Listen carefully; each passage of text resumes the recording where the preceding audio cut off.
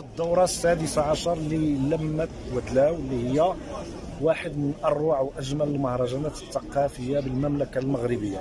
هذا المهرجان ماشي فقط مناسبة للترويح على المصطافين وعلى المواطنين اللي كيقصدوا هذه الوجهة السياحية. هي أيضا مناسبة لتقديم عرض ثقافي وفني في مستوى رفيع جدا. جميع الدورات ديال لمة ودلاو كانت مؤطرة بشعارات تركز على التنمية المحلية على التنمية المستدامة على التنمية السياحية وإذا استعرضنا الأعلام والأسماء المفكرين والباحثين والفرق الغنائية اللي شاركوا في هذا في هذه اللمة غادي نلاحظوا كاين هناك واحد النفس حداثي وتقدمي لكل المفكرين والاطور والفنانين اللي شاركوا فيها.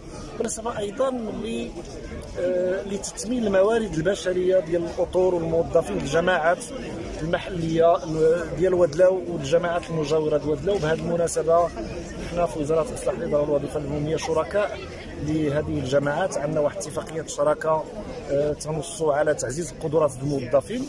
والآن غادي نوزعوا حوالي 170 آه، شهادة تقدير واعتراف لكافة المستفيدين من عشرة الجماعات بيستافدوا من دورات تكوينيه أطروها الخبراء الوزارة. محمد ملاحي رئيس الجماعه الترابيه لمدينة ودلا واليوم نطفئ الشمع السادس عشر للمه واللي في الحقيقة اللي الشعار ديالها هو شعار بيئي اللي وحنا بنينا واحد الاستراتيجية ديالنا وكانت أول وهلة الدخول ديال هذا المهرجان هو المدخل الثقافي والفكري واللي كانت أول انطلاقة ديالو سنة 2004 واللي عطات يعني واحد الزق واليوم كتعرفوا على أنه هذه المدينة كتعرف واحد التنمية مستدامة بفضل الرعاية الملكية السامية ديال جلالة الملك اللي هو واحد ثلاثة ديال زيارات المدينة ديال ودلاو سنة 2008 و2012 و2014 واللي كانت التنمية الحمد لله تنمية خير وتنمية مستدامة على هذه المدينة. واليوم كنعرفوا على انه هذه المدينة اليوم فيها أكثر من 200 ألف زائر واللي في الحقيقة كتحس بواحد النشوة وكتحس بواحد الطموح وكتحس بواحد الراحة البال لأنه يصعب على أنه في, في, في التجمعات السكانية كهذه على أنه توفر يعني جميع الإمكانيات ديال الراحة. واليوم الحمد لله الودلاو كتوفر هذه الإمكانيات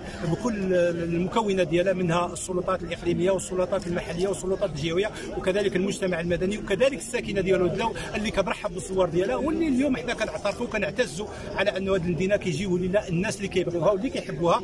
والحمد لله يعني الحب متبادل واللي كيجعل على انه هذه المدينة كذلك تدخل داخل الاعماق ديال القلوب ديال الجماهير. وحنا كذلك يعني إحنا خدام ديال هاد الناس اللي كيزوروا هذه المدينة. ولهذا فاحنا نرحب بالجميع ونتمنى يعني لهم كامل التوفيق والنجاح والسداد في هذه المناسبة ديال هذا المهرجان وديال هذه اللمة وهذا الطموح ديالنا اللي هو طموح ديال التنمية على المستوى العالي إن شاء الله. وشكرا.